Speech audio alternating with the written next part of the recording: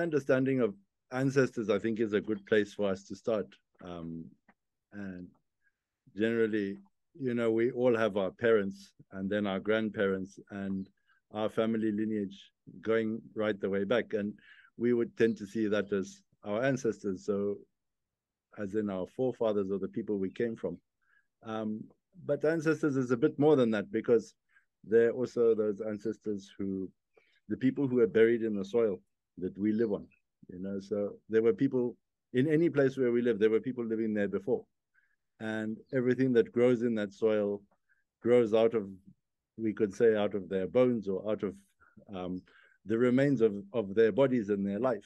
And so they also affect us and they become our ancestors.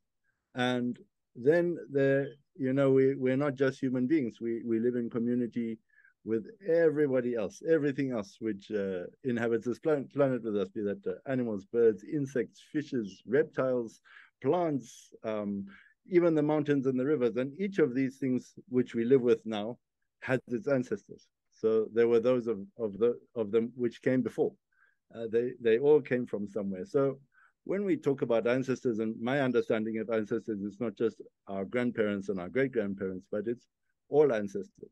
Um, and so when we look at what, what it is about communities who or, or cultures who work with ancestors or venerate ancestors, there tends to be an understanding that, you know, we inhabit a physical body for a certain amount of years.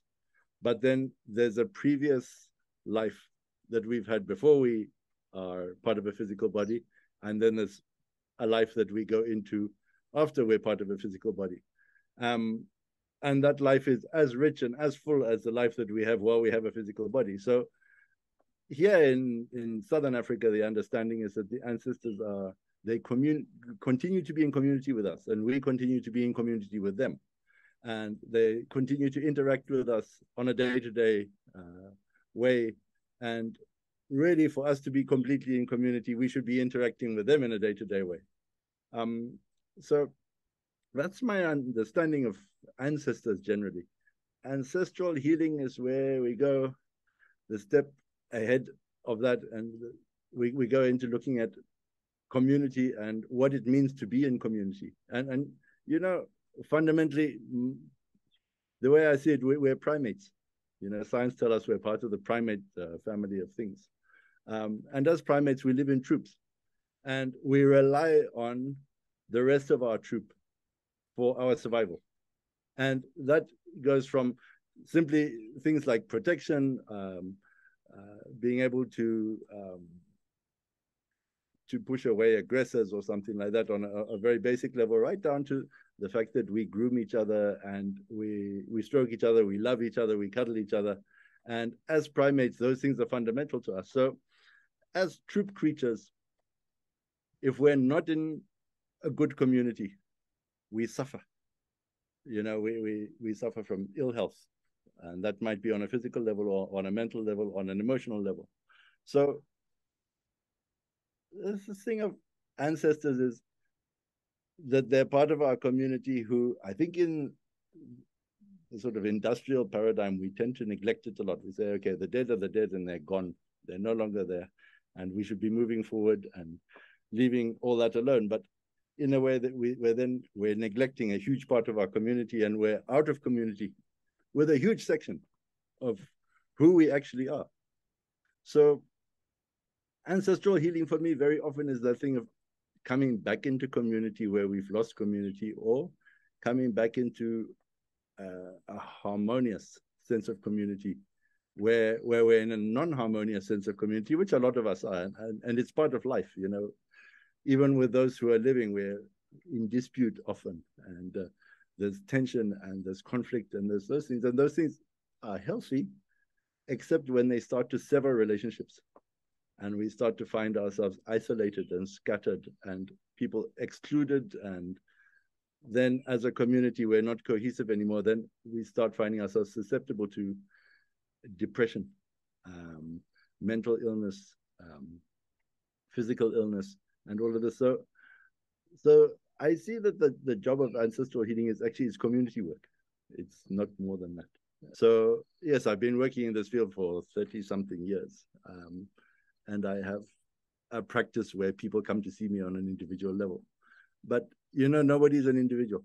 And each time a person comes and they say, okay, well, I've got some difficulty and uh, can we look into it? It's kind of the first question is, okay, so where are your relatives and how are you with your relatives? And, uh, you know, in the olden days in Botswana where I, I learned uh, this work, um, if uh, a person went to see a traditional healer, they would say, well, why do you come alone?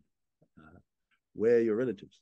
And that's always the first sign of there being a problem. If you don't come with other people, um, if you're sneaking around going to see traditional healers, it means that there's a problem with your relatives. So the first question is often, where are your relatives? And that question would often lead to people say, well, you know, I'm a bit at odds with these people and uh, there's a, a family dispute here or there's a disconnection here. And so when people come to see me, sometimes they'll say they'll they'll present with some kind of a, a malady. Uh, say somebody may come to me and say, I have depression.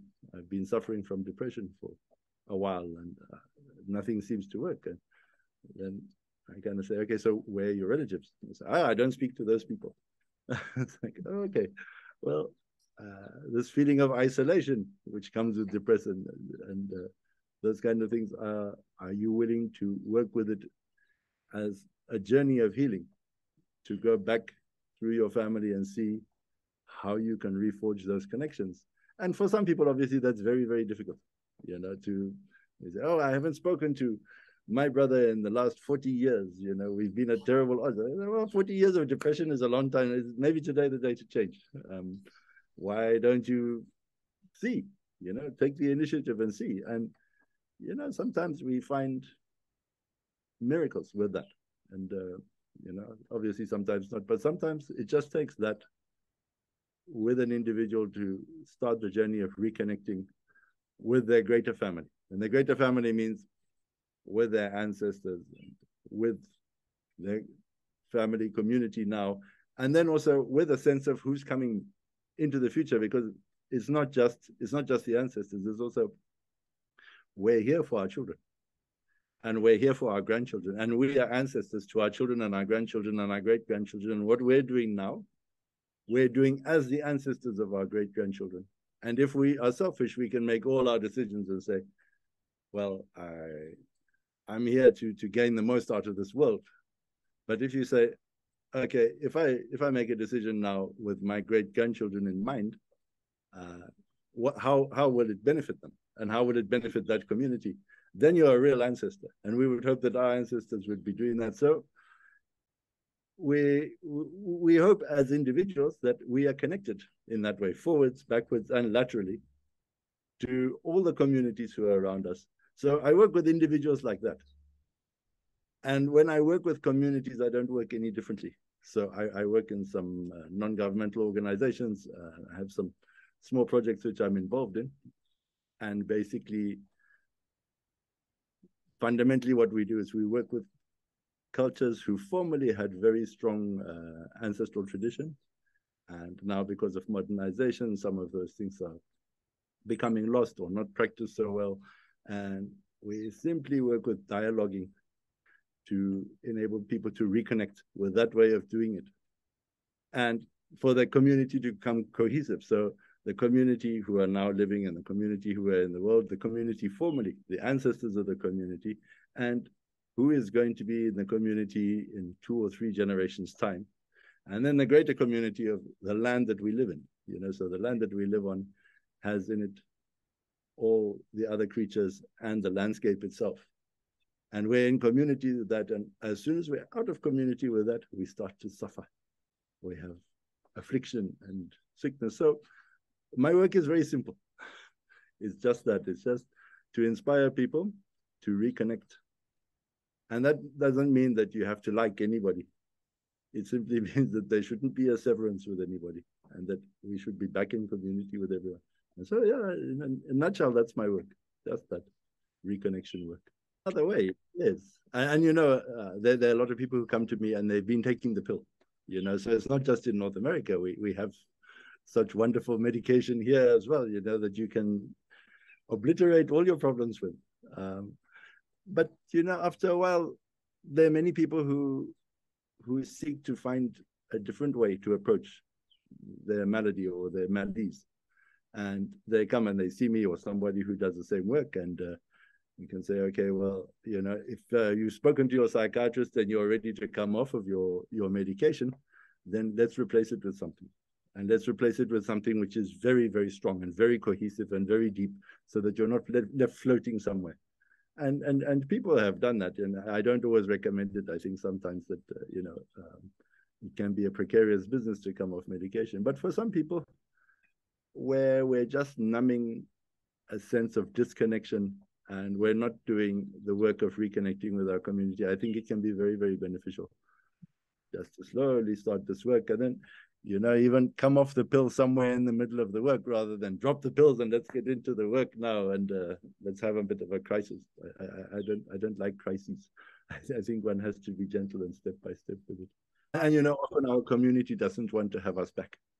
You know, and especially in the modern industrial world, you know, we're so used to that uh, that you can disconnect with your family and you can go off and you can make a life somewhere and uh, you can not have a clue who your ancestors were.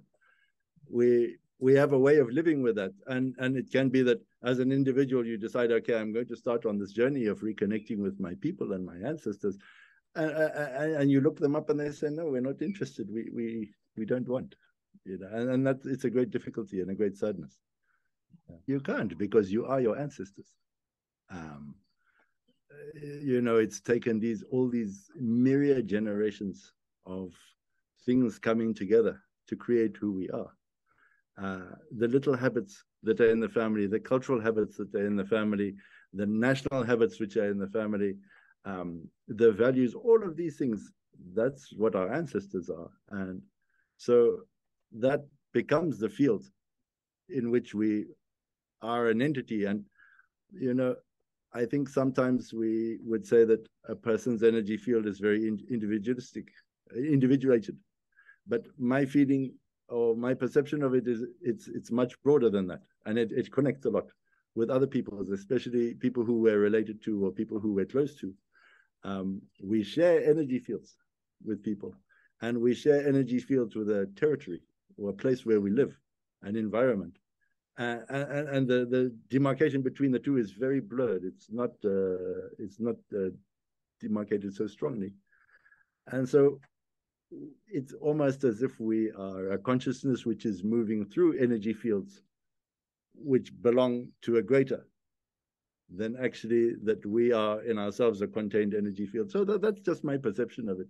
So I I work on that level with uh, with people and things and places and trying to perceive the energy fields and see, okay, what what are we moving through here? What is coinciding here? What is colliding here? What's happening? I, I think that's a good question, uh, and I don't I don't have a good answer, but I, I, I have some speculation on the matter which I might share, and I, I think it's a matter of our um, our willingness to be vulnerable in a certain way. It's a it's a precarious business also because as you're vulnerable to that kind of energy, you you start to find yourself less able to function in the industrial world. Um, and you go into a place where there's a lot happening energetically with machines and electronics and people in a big rush and and, and you find like oh i can't do this and and so it's this balance of trying to have enough of that that one can be perceptive, yet at the same time not be bombarded by it and overwhelmed by it, which happens to a lot of people in, in the work that I do. They are not able to work uh, or, or to operate in the day-to-day modern world, which is a great sadness because you know there's there's great wonder in the day-to-day modern world, but at, at the same time it's very overwhelming for a lot of us who are um, sensitive as it is or perceive those kind of energies. So, so I think I think it's it's as simple as making yourself vulnerable, but at the same time balancing it with can you actually then con uh, continue to be functional in the day-to-day -day world. The sick seek the healer. So it might be that instead of the healers going into the technological world to attend to the sick, that those, those people who are, are struggling, as they do anyway, kind of leave that world for a moment and, and, and go to the place where the healers are, which sometimes is in a more peaceful, more natural environment. And even in that, there's a there's a bit of a healing journey in that, in taking a retreat away from the grinding machine for a while and, and just uh, going to somewhere where it's a lot more natural and a lot slower and a lot less energetically busy. Uh, I'm a big believer in that. And I, I think that our great grandchildren, wherever they are, when they do a little piece of healing work on themselves, that a healing blessing comes back to us and that uh, we're given a little bit of strength. And in the same way that when we do a piece of healing work around ourselves and our communities, that, that strength, it flows back and forwards through the generations and uh, it, it affects it, our ancestors in a good way and it affects our descendants in a good way as well.